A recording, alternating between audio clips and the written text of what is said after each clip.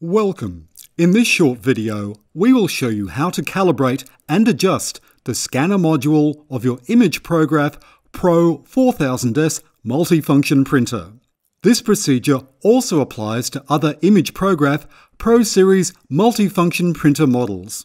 Before getting started, it's advisable to download the online manual for your imagePROGRAF from the Canon website.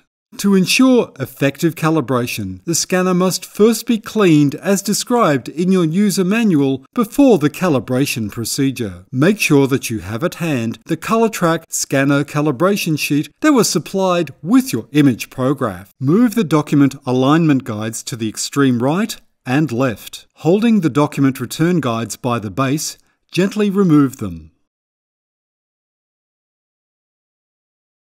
This procedure is initiated from the SmartWorks MFP application on the touchscreen PC attached to your multifunction printer. At the bottom left of the SmartWorks user screen, tap on this eye icon. Tap on Calibrate.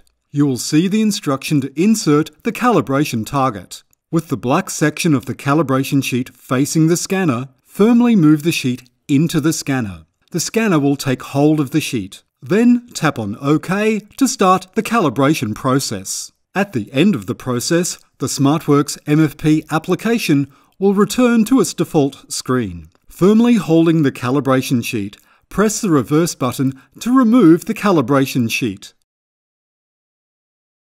At the bottom left of the SmartWorks user screen, tap on this eye icon again. Tap on Auto Stitch. You will see the instruction to insert the calibration target.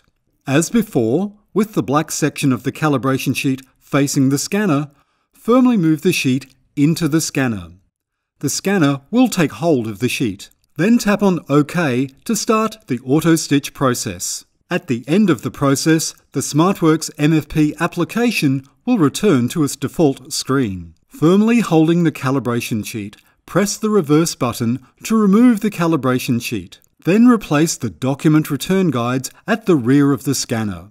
Finally, place the calibration sheet back into its original packaging to protect it from damage. All done. To find more helpful resources for your Canon large format printer, browse our Canon Business AU YouTube channel and visit us at canon.com.au.